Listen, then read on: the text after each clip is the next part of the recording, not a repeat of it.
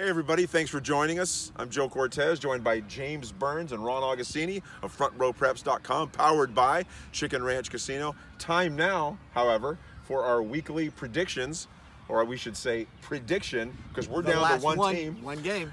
Brought to you by Golden Bear Physical Therapy. And fellas, as you know, anywhere we watch high school football, and this week it's Hilmar, you can find a Golden Bear Physical Therapy facility near you.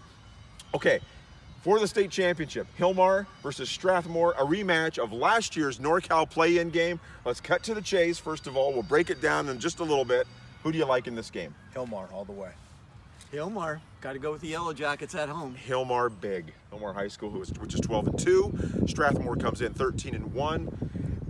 However, it's a lot like Denair and Santee a couple of weeks ago for the CIF Division 7 AA title. Santee just hadn't played anybody. It's kind of the same thing we're getting from Strathmore. If you look at their max preps strength of schedule ranking, they average about the Strathmore's opponents average about a 711 ranking. That's kind of in the neighborhood of Le Grand. Uh, you know, one of the one of the weaker Southern League teams. So, I don't I don't know that they, they've ever faced an opponent like Hilmar this season. Hilmar's ranked number 72 in, in 72 the state, in in, the those, state. in those same rankings. Uh, you know, and Hilmar has come through the TVL, and we've talked all season long about how the TVL has returned to uh, and has, has kind of lived up to that billing of being the, the toughest small school conference in the state. Um, you got teams like Escalon, Modesto Christian, and Ripon, all ranked in that 150 range. Uh, you know, Strathmore hasn't seen a team like that in that in that range at all this season. Now, Strathmore did beat Hilmar in the regional last year, 53-52 in double overtime. That has not been forgotten by the Hilmar team. Justin Renfro told me after the game last week, he's never forgotten that game or the score. And, and uh, I think they're going to come out here with a, with a mission in mind. You had a chance to sit down with Trevin Crowley this week. You talked with, with Renfro. Last week we had a chance to Renfro. talk with, with Isaac Sharp. Uh, none of them really care so much about the state bowl. I mean, that's going to be that'll be the cherry on top. They really want a piece of Strathmore. And even when they Yeah. were preparing for East Nick, they really wanted Strathmore. And, and, you know, it, teams have to be. We got to be careful looking ahead, but they understood that that that, that is the carrot. Yeah. They're Yeah. chasing. They're chasing Strathmore. And Isaac Sharp said as much when he was honored as the American Chevrolet Player of the Week two weeks You know, ago. it comes down to the way they lost that game last year. You know, they were down early, battled back, took a big lead, and were within minutes. I mean, 60, 70 seconds of, of celebrating a NorCal Bowl berth here on the home field. And they had that fumble inside their own 10 yard line by Renfro. Uh, that allowed Strathmore to tie the game up, send it to overtime, and once you get to overtime, really, you know, it's it's anyone's game. And Another motivation for Hilmar is this is the one thing they have not done yet is to win a state title. They've they've checked every other box uh, mm-hmm. you know, in- with their this- success over the years. Yeah. They haven't done this, and this class has a chance to do it. It's it will be special. Yes. So let's break down the matchup between hmm. Strathmore and Hillmore a little bit here. Uh, we've talked a lot this season about the Thunder and Lightning component for the Yellow Jackets. The Lightning being Isaac Sharp, who has 1,600 yards rushing this year, and Thunder, Justin Renfro, who will probably will go over 1,000 yards this week. He just needs 14 more. Uh, I would bet that he does it, barring a sprained ankle or something calamitous like that. Uh, Strathmore also has kind of a Thunder and Lightning component. Yeah, Strathmore will attack you with with, with five different backs. Uh, the primary back, the primary uh, focus, I guess, for the Hilmar defense is going to be their their uh, their speed merchant, Alonzo Azevedo. Almost 1,800 yards on the ground, averaging about nine yards a carry. Um, you know, he was a role player. He was sort of the the the wingman last year for Strathmore behind their 2,000 yard back. This year, uh, you know, he's he's lived up lived up to the hype. He's going to be the one to watch. And of course, they have four other backs uh, Alcantar, Onsures, Moreno, and Bravo, who kind of share the Thunder portion of that. They're kind of the, the heavy Yeah. lifters inside. Yeah, the Spartans won't throw much. This is going to be a game that's going to be won or lost in the trenches. They're a, they're a run heavy team. But that Strathmore team is running into a team that is red hot right now. They're peaking at the right time of the year.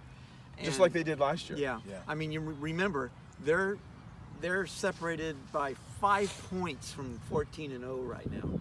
Two tough losses in the TVL. They lost 23 to 21 to Ripon, the co-champion of the Trans Valley League, and they lost 24-21 to Modesto Christian, the other co-champ. of I doubt the Valley. way Hilmar's playing right now that they would lose to either team right now. No.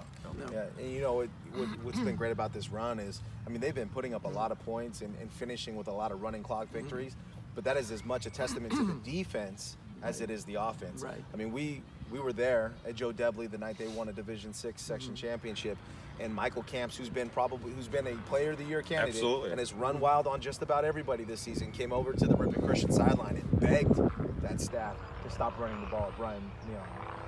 And Yeah, he's, and he's he's a cornerback. everything out. He's a cornerback that loves to fly up and hit the ball, and that is that is everybody on that yellow jacket defense right now. They swarm to the football.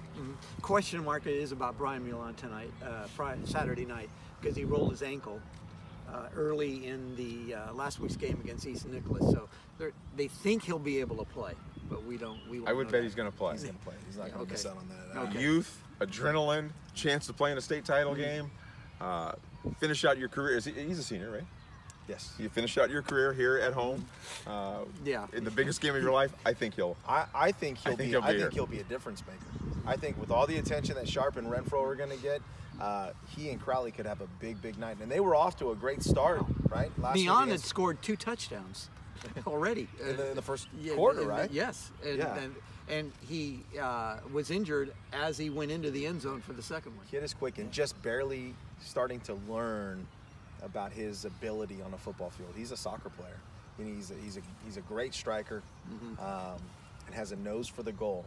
And, and as it turns out, he has a nose for the end zone as well. Yeah. So, I'm going to put my money though on Justin Renfro. You know, he's been hot in the postseason. He had 100 Yeah. plus yards against Escalon, 100 plus yards against Ripon Christian, 100 plus yards against East Nicolaus. Uh, I say the trend continues Man. because he is a man on a mission. yes. His, He is. His impact. And he's is wired incredible. differently, you Oh, know? Oh yes, his impact is incredible on both sides of the ball. As an inside linebacker, he dominated East Nicolaus last week. Just dictated everything that happened in that game. One of their thousand-yard rushers for East Nick tried to go up the middle on a pretty simple dive play. He was met by Renfro. It- I mean, it- there is video of that hit. Uh, take a look at it if you can if you can find it. We have met the enemy. Yeah. And his name is Justin Renfro. Whoa, Well, big I- time hit at any Brand level. name. Under And let's call a spade a spade. It was his fumble last year Yeah. that That's cost right. Hilmar a Yeah. chance at a NorCal Yeah. Regional Bowl game. And he knows it. He, he owns up to that. Definitely knows it. He owns up to that.